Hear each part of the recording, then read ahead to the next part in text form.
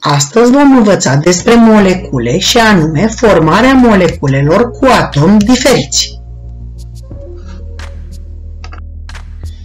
Știi deja că cea mai mică particulă dintr-o substanță care poate exista în stare liberă și care în condiții standard de temperatură și presiune prezintă toate proprietățile substanței din care provine, se numește moleculă. De asemenea, ai învățat că moleculele se formează prin punere în comun de electroni între atomi care nu au o configurație stabilă pe ultimul strat.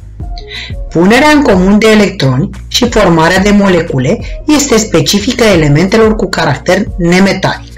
Ai învățat formarea moleculelor cu atomi identici, cum ar fi molecula diatomică de hidrogen sau molecula diatomică de clor sau molecula diatomică de oxigen. Haideți să vedem cum se formează moleculele din atomi diferiți. Dacă luăm exemplul atomului de hidrogen care are numărul atomic Z egal cu 1, deci are pe stratul K un electron, și atomul de clor care are numărul atomic Z egal cu 17, observăm că acesta are pe ultimul strat 7 electroni. Atât atomul de hidrogen cât și atomul de clor nu au configurație stabilă. Pentru a ajunge la o configurație stabilă de gaz rar, cei doi atomi își pun în comun câte un electron, pentru că fiecare mai are nevoie de un electron pentru a ajunge la configurația unui gaz rar. Electronii puși în comun, acești doi electroni, aparțin în egală măsură atât atomului de hidrogen cât și atomului de clor.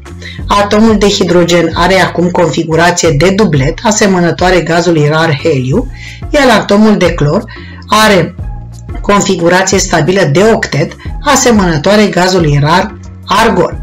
Se formează astfel molecula de hidrogen clor numită acid clorhidric. Deci s-a realizat o asociere de doi atomi diferiți, hidrogen și clor, numită moleculă de acid clorhidric și reprezentată hidrogen-clor.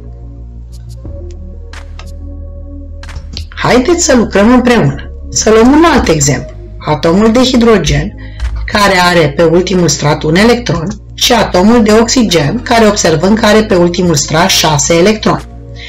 Atomul de oxigen are nevoie de 2 electroni pentru a realiza configurație de octet, dar un atom de hidrogen nu poate participa decât cu un singur electron.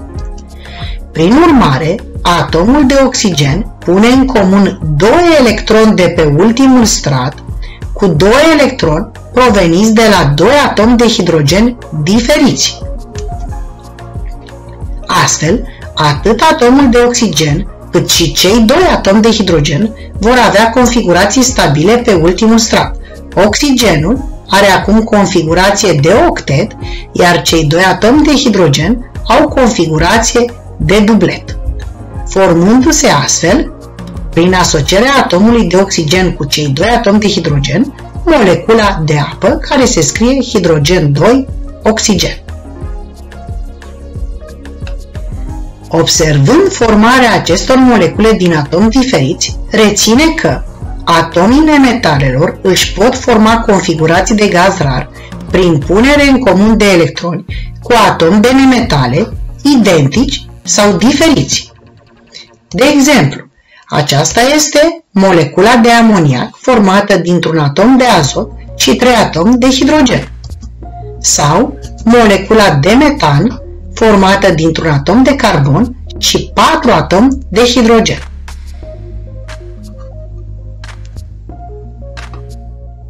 De asemenea, am observat că substanțele moleculare pot fi substanțe simple, adică molecule formate din atomii aceluiași element, cum au fost moleculele de hidrogen, clor sau oxigen, sau substanțe compuse, adică moleculele sunt formate din atomi diferiți, cum a fost molecula de acid clorhidric, de acid bromhidric sau molecula de apă. Moleculele sunt neutre din punct de vedere electric. Într-o moleculă, fiecare atom are configurație stabilă pe ultimul strat, iar molecula trebuie să știm că are dimensiuni și masă foarte mici.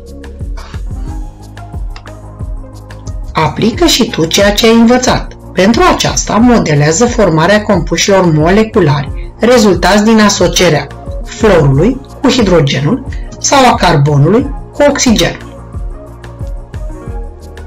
Mult succes!